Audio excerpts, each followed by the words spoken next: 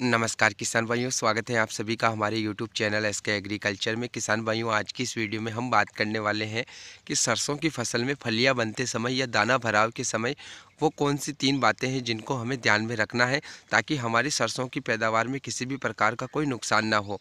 तो इस वीडियो को आप आखिर तक देखते रहिए, लाइक कर दीजिए, चैनल पर नहीं हो तो सब्सक्राइब करके बेलाइकन को दबा दीजिए, वीडियो को ज़्यादा से ज़्यादा शेयर कर दीजिए। किसान भाइयों, सरसों की फ़सल में जितने भी उर्वरक हमको डालना है, हमने डाल दिए, पानी भी लगा दिया, लेकिन यहाँ पर सरसों की फलियाँ बनते समय और दाना भराव के समय हमने दो तीन बातों का ध्यान नहीं रखा तो यहाँ पर भी हमारी पैदावार में हमको काफ़ी ज़्यादा नुकसान उठाना पड़ सकता है। वही बातें मैं आपके साथ शेयर करने वाला हूँ। अगर इनको आप ध्यान में रखते हो, फॉलो करते हो तो आपको नुकसान नहीं होगा, जिससे कि आपको अच्छा से अच्छा उत्पादन प्राप्त हो जाएगा। किसान भाइयों, वैसे तो जब सरसों में फलियाँ बन रही हो या दाना भराव का समय चल रहा हो, उस टाइम पर किसी भी प्रकार के उर्वरकों का उपयोग नहीं करना है। जो भी करना होता है, हम पहले कर लेते हैं।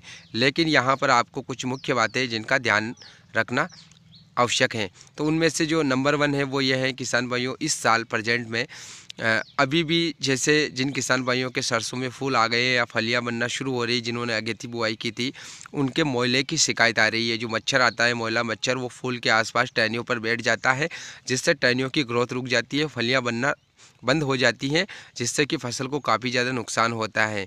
तो इस बात का आप ध्यान रखिए, इस साल इसका अटैक देखा जा रहा है और कुछ ज़्यादा ही मात्रा में है। तो आप जो है, अगर आपके भी सरसों में मोयले का अटैक होता है तो तुरंत आप जो है केमिकल, जो कीटनाशक आता है, उसका उपयोग करें, जैसा हम पिछली वीडियो में भी बता चुके हैं कि एमिडा वगैरह का स्प्रे आप करके इसको ख़त्म कर सकते हो। तो ये काम आप समय रहते ज़रूर कर लेना, ताकि आपको किसी भी प्रकार का नुकसान ना हो। दूसरी बात यहाँ पर आती है जो मुझे लगता है बहुत ज़रूरी है किसान भाइयों के लिए। अक्सर आप ये सुनते हो कि सरसों की फ़सल तो एक या दो पानी की फ़सल है, लेकिन ये बात उन किसान भाइयों के ऊपर अप्लाई होती है जिन किसान भाइयों की ज़मीनें अच्छी होती हैं। उन किसान भाइयों को इस बात को फॉलो नहीं करना है, जिनकी ज़मीनें बिल्कुल हल्की है, पथरीली ज़मीन है बार बार पानी की आवश्यकता पड़ती है, उन किसान भाइयों के लिए दो पानी में फ़सल नहीं होती है। उनको जब फ़सल में दाना भराव का समय चल रहा है, फलियाँ बन चुकी है, उस टाइम पर वह किसान भाई जिनके पास हल्की ज़मीन है, वो अपनी फ़सल को एक और पानी, हल्का पानी ज़रूर लगाए, ताकि दाना भराव में कोई प्रॉब्लम ना आए। आप उस चक्कर में ना रहे कि सरसों तो दो पानी की है। दो पानी की सरसों हैं, लेकिन अगर आपके पास अच्छी ज़मीन है, तब हैं। हल्की ज़मीन है तो एक पानी और आपको देना पड़ेगा दाना भराव के समय। तो आपको किसी भी प्रकार का दाने में भराव में किसी भी प्रकार का कोई नुकसान नहीं होगा। तीसरी बात जो यहाँ पर आपको ध्यान रखनी है, जिसकी वजह से भी अगर आप ये गलती कर देते हो तो 20 से 25 परसेंट तक जो है पैदावार घट सकती है, वो है पाला गिरना।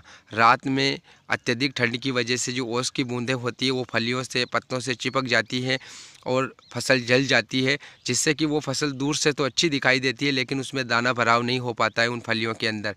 तो इसका भी आपको पूरा ध्यान रखना है। जैसे ही आपको लगे कि आपके क्षेत्र का पारा जो है बिल्कुल माइनस में जा रहा है, बिल्कुल गिरने वाला है।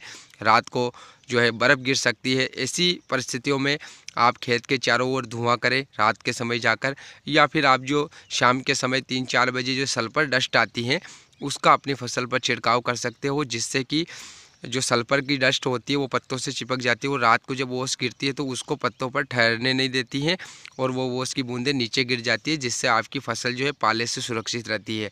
यह तीन मुख्य बातें जिनका आपको ध्यान रखना है, ताकि आपको अपनी सरसों में किसी भी प्रकार का कोई नुकसान ना उठाना पड़े।